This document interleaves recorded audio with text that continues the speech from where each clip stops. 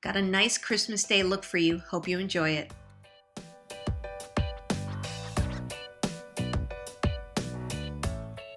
I already applied the foundation and the powder, so let's get to the eye makeup. Use the same foundation and apply that to your eyelids. I'm using a light base color such as the one from Urban Decay's Naked Basic palette, and I'm going to go ahead and brush that on my eyelids and brow bone.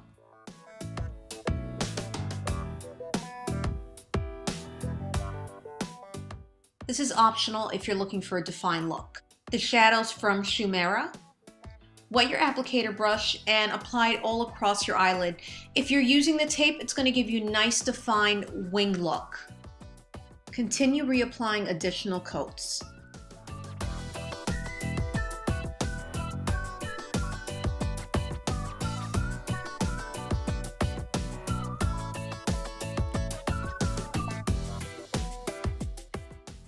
Use a liquid-based eyeliner. Apply the liner to the upper lash line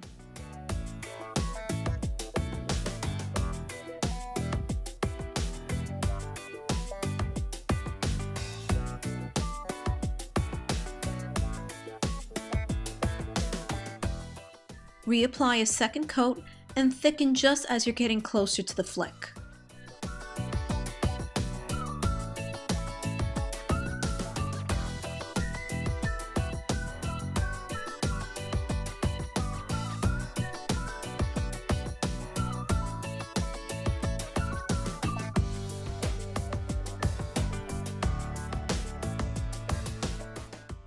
I'm using a black liner from Aveda to line the lower waterline of my eyes.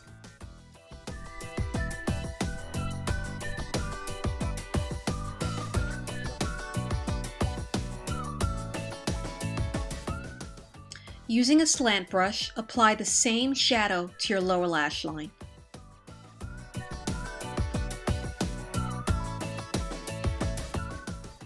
Curl your lashes and apply mascara.